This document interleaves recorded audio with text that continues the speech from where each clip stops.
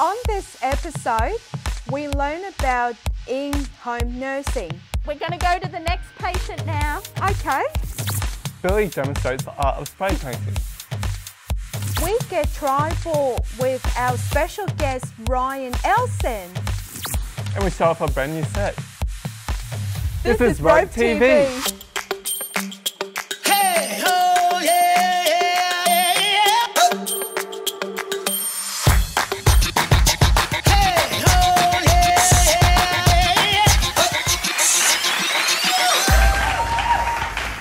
everyone, and welcome to a new episode of Rope TV, where we have a new format and a new set.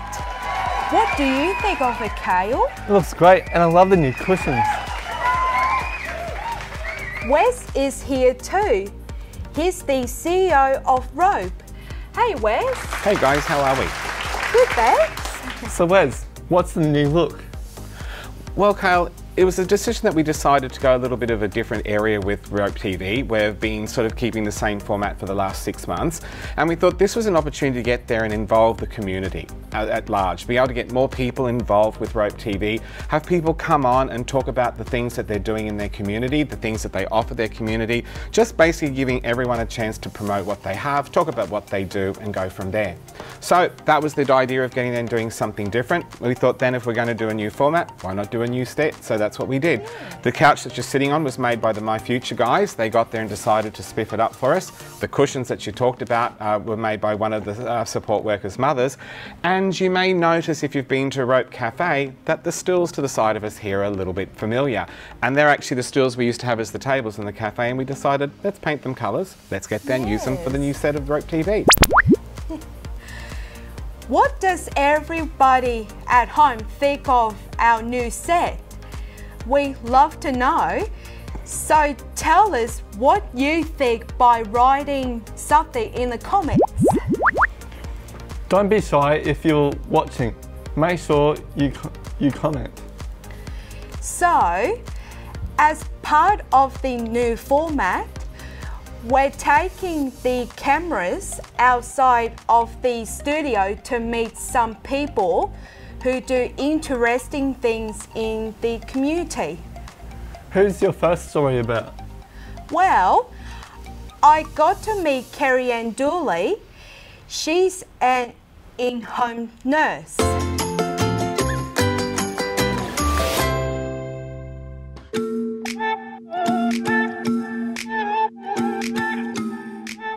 Kerri-Anne. Welcome to Rope TV, and thank you so much for taking time out of your super busy schedule to be with us for today. Oh, thank you for having me. I'm so excited to be on Rope TV. So, Kerri-Anne, you run an organisation called My Care Ex- Enterprises. Can you please tell us all about it? So, we started last year and uh, we offer in home nursing care. So, we provide palliative care for people who are dying and need end of life care. And we provide services all over Brisbane North. We go up to Bribie. We've even had clients at Noosa. Can we ride along with you and see a typical day? Absolutely. That'd be great. Let's go. So, where we are heading off to today, Kerri-Anne? So today, our first client that we're visiting, her name is Jane. Jane is about 45 years old. Yep. Sadly, she was in a car accident and um, is paralysed. Okay, we're ready, Ashley? Yep. Knock, knock. Hello, how you going? Hello, hello, how are you? Oh, look at the dog. Oh, which one's which? This is Lucy. Okay. Oh. Hello, how are you? So, how do you find the um, My Care Health very helpful, Jane? really well because I don't have to leave home, which is sometimes can take a bit to load into the car and out to the car, and it's just really good to have them come to here. That's so lovely. We'll see you. Talk soon. Bye. See you guys. They're lovely. All right, we're going to go to the next patient now. Okay. So, Ashley, now we're going to Belinda's house. Belinda lives with muscular dystrophy. We provide overnight support for her, um, some pain management. Hello, hi Belinda. So, Ashley, this is Belinda. Hello, Belinda. And Belinda, this is Ashley. She's a presenter on Rope TV. Hi, how do you do? Lovely to meet you, Ashley. You too. I'm doing really well, thank you. That's good. So, how do you find the um, the services of My Care very helpful to you? they came to help me when I couldn't find any other services to sleep over at night for me. When I'm at my most vulnerable at night time, um, Kerri-Anne and her team support me. So I am eternally grateful to my care enterprises and Kerri-Anne. So, Ashley, now we're going to visit Anastasio. And Anastasio has type 2 diabetes, and so we give him an insulin injection every day.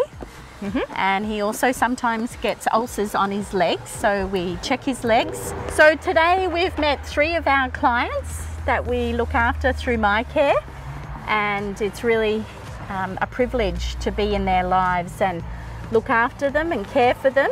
So joy to meet your patients today. Oh, thanks, Ashley, for wanting to come and spend a day with me. You'll be ready for lunch now.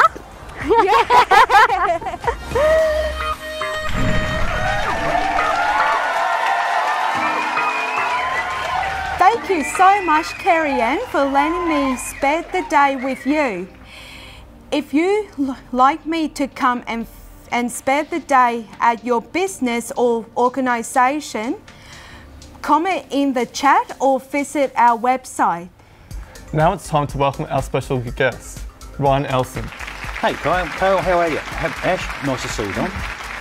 Nice to see you too, Ryan. Cool, cool.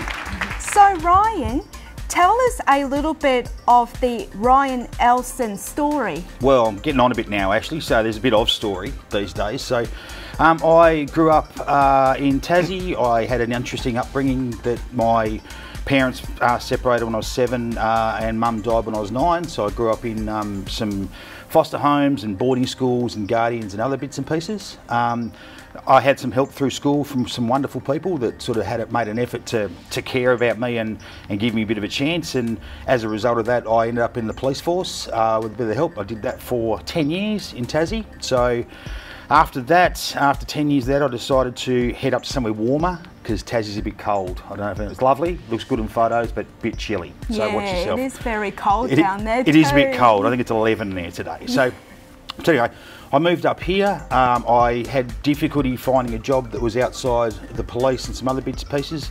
I fell into real estate and I did that for 15 years. Uh, I also have three kids. Um, I've got two stepkids as well now, uh, a great wife, and a sort of daughter as well, who we found somewhere and we keep feeding her, so she keeps coming back.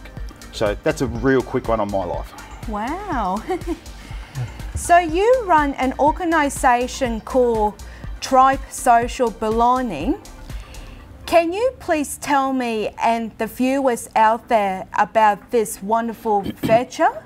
Thanks, Ash. Yep, Tribe Social Belonging started uh, about four and a half years ago. Uh, there's reasons for it, which I'll tell you in a while. But Tribe basically, our job is what we do, our core purpose, if you like, is to provide uh, opportunity through connection.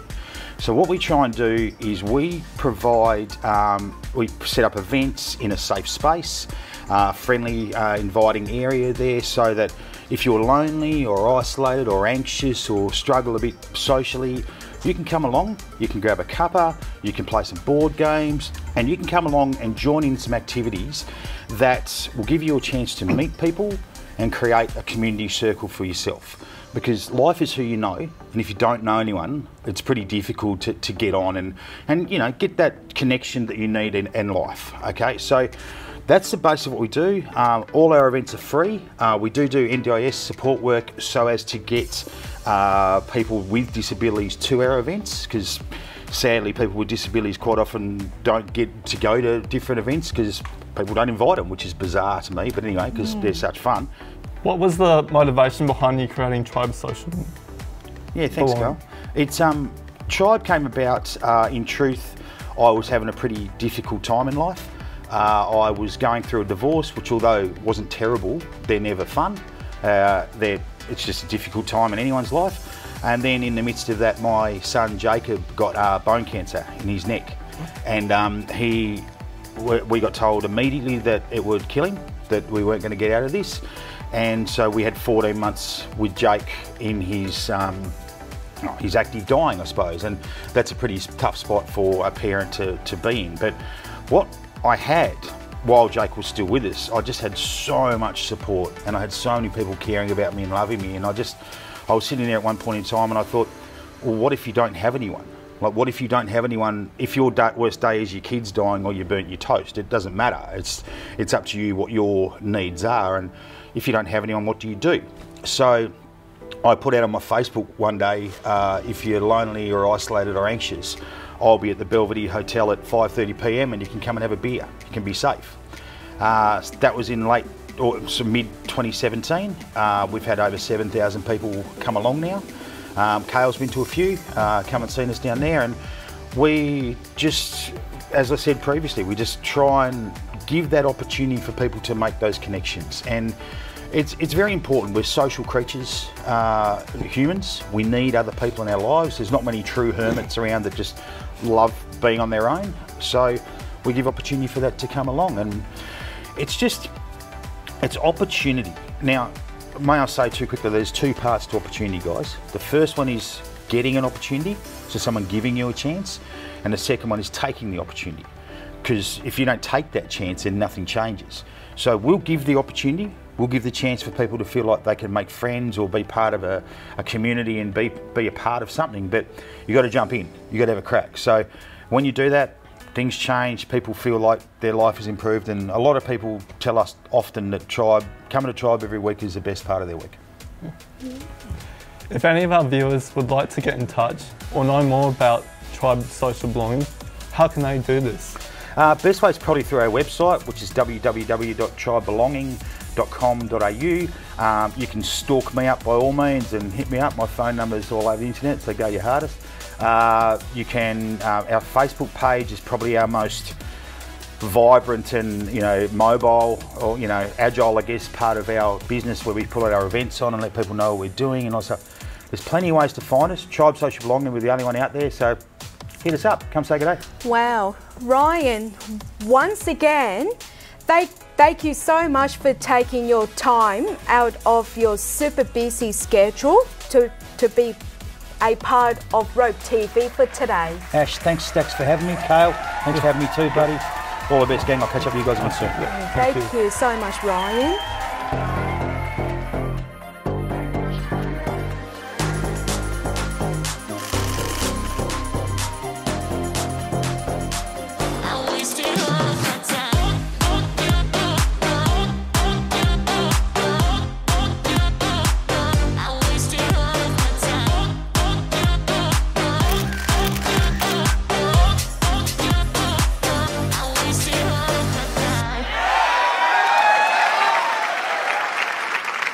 Now time to put the spotlight on a rope participant.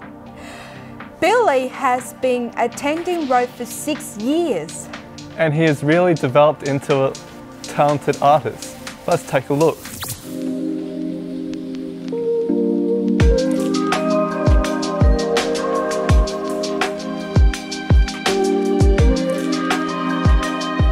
When you first start the picture, it just looked like nothing, but when you build it up, it just like you're building a puzzle.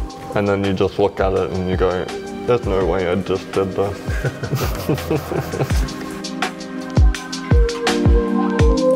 Billy, I've sort of been working with Billy for a good couple of years now, um, doing the art, and uh, introduced him to the stencil and spray painting.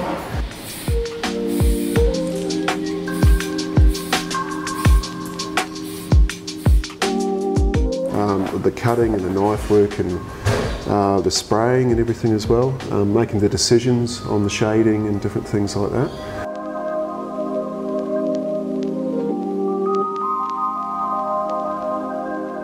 For me, art is a good way for me to sort of forget everything around me. It's sort of a dreamy process, I guess.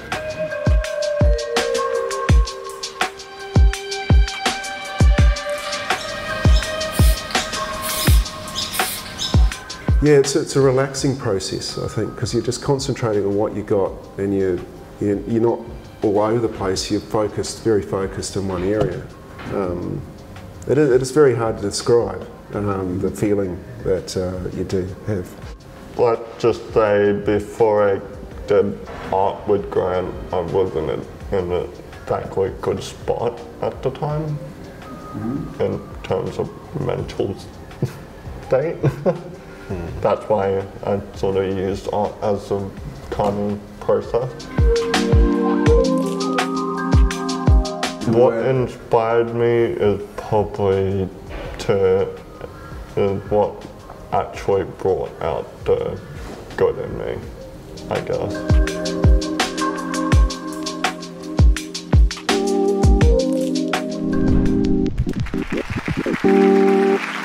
That brings us to the end of this episode. What did you think of our new show? I loved it, but I really want to know what everyone watching thinks. Make sure you comment and don't forget to like and share this video. You can also subscribe to Rope TV on YouTube. That way you'll never miss an episode. Let's see what's coming up on the next episode. Ashley gets to know fashion stylist Leanne Zimmerman. And we put the spotlight on Adam. That looks like it's going to be a great episode. You can RSVP now, so don't miss it. Details are in the chat. I can't wait. See you then. ROPE is a non profit organisation providing support services to people living with intellectual disabilities. We empower personal development through the provision of information, education, and life skills training. Our in centre and community based programs educate and encourage participants to develop life skills, including computer skills, social and interpersonal skills, travel, and independent living skills. To find out more, visit our website or connect with us on social media. Rope TV is proudly produced and filmed at the studios of Trending Media Australia.